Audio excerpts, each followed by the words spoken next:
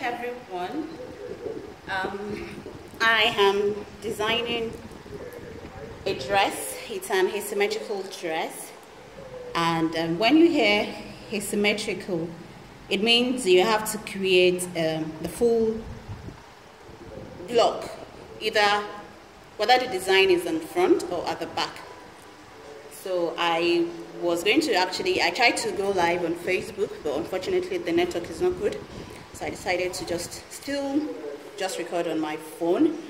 Hopefully we will be able to have enough space to get this done. Okay, the design I'm creating is um, asymmetrical on the skirt part. And that's why I have not mirrored the front part. I've contoured the block. This is a basic block, not a knit block. But I will be using a knit fabric. By that I mean a stretchy fabric. So I'm going to be doing a lot of manipulation on here and um, this manipulation is only applicable if and when you're using stretchy fabrics. There is um, a knit block but I am not using a knit block for this design even though I'm using knit fabric to create the garment but I am manipulating my basic block to still give me the same result. So I've contoured the, the upper part. The lower part is the asymmetrical part, which I have mirrored. Remember I told you asymmetrical means you have to mirror. So I have my full front for the skirt part. So I'm just going to cut away the, the upper part. As you can see, I have the scissor sign. I've drawn my grain lines. You should always draw your grain lines before separating or cutting your block into pattern pieces. Okay?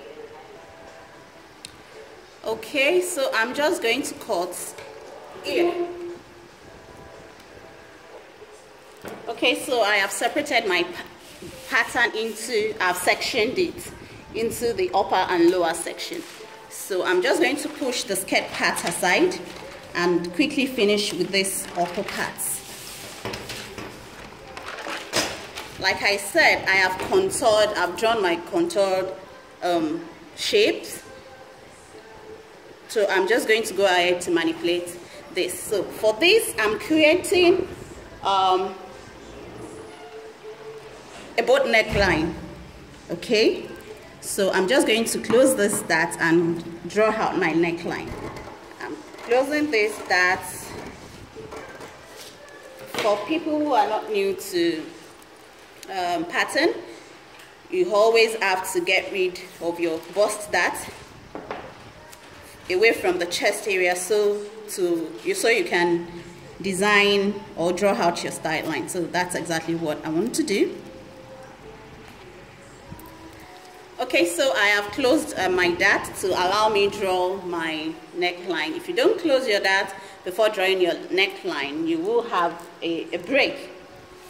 So it's it's better to always get rid of your of your dart by transferring it to any part of your a new position on your uh, block before drawing out your any type of um, neckline you desire.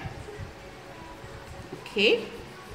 You can use your French curve, hip curve to um, leg curve as well to help draw out your perfect curve. But I always tell my students, learn to draw by hand, freehand drawing. Okay? So we are set for this. I'm just going to keep this. I'm going to use the shoulder on the back part of the dress as well, just to make sure they are they align on the shoulder. So I'm just going to keep this aside and uh, go on with the skirt parts. Okay, so we have the skirt parts now. Like I said, I'm, I am using my basic block to create this garment, and I, but I'm using stretchy fabric.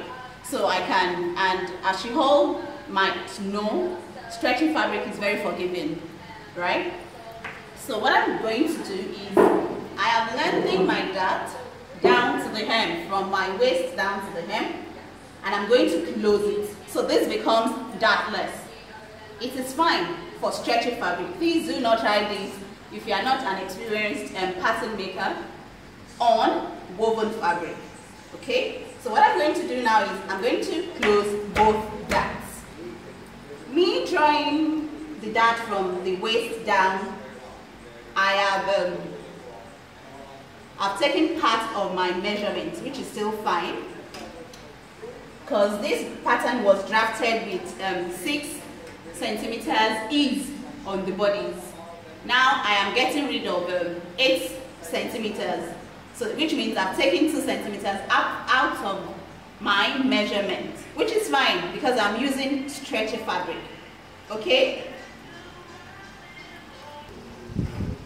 Okay, so I have closed my the darts and I'm planning my drape lines.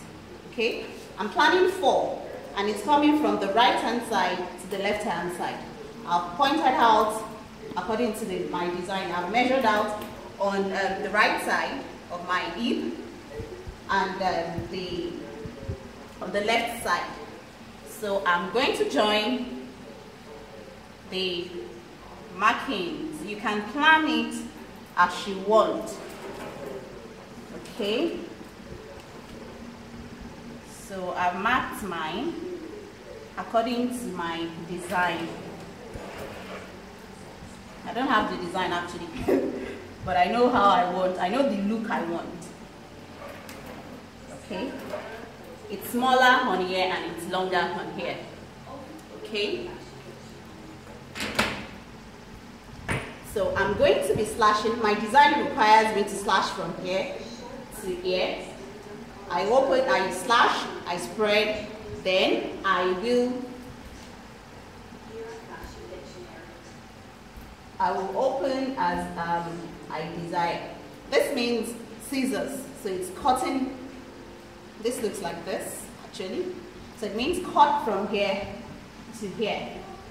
So the gathers would be here or pleats or whatever you're trying to create. So I'm just going to cut.